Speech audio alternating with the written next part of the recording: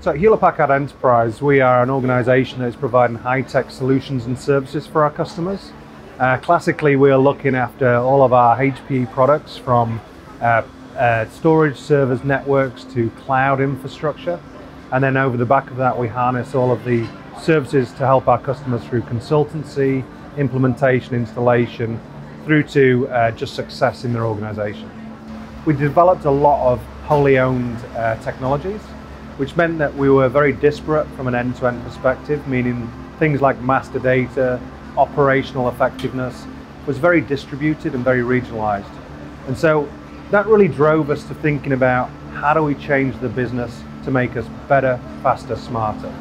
And with that in mind, what we really looked at doing was taking a look across our ecosystem from a delivery perspective to, to try and understand in three key dimensions where we can improve what we're doing.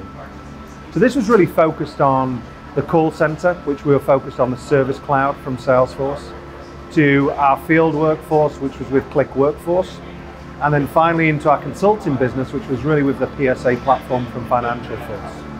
And when we went through that platform, one of the key thing, uh, platform decision, one of the key things that we were looking to do was to ensure that we could do a policy and process uh, execution first and foremost, understand how we could standardize and simplify what we were doing, and then over time to make it into a technology automation play to help us consolidate onto a single platform which can drive a cohesive business end to end. With Financial Forces helping us to reimagine and rethink how we do our consultant, consultancy business. If we look across where we started this journey, we were very much focused on a subset of our delivery organization.